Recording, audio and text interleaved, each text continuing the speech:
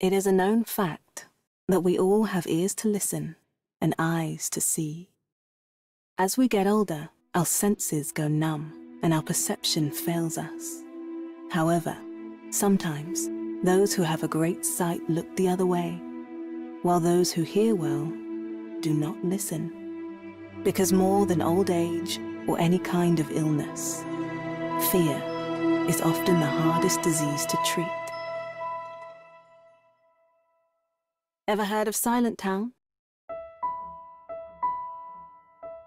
A handful of roofs standing out in the heart of the forest. No voices, no noises, only whispers and gasps. People enslaved by rules to stay safe. Because while the forest by day was calm and peaceful, once night had fallen, you could hear them roar. The monsters.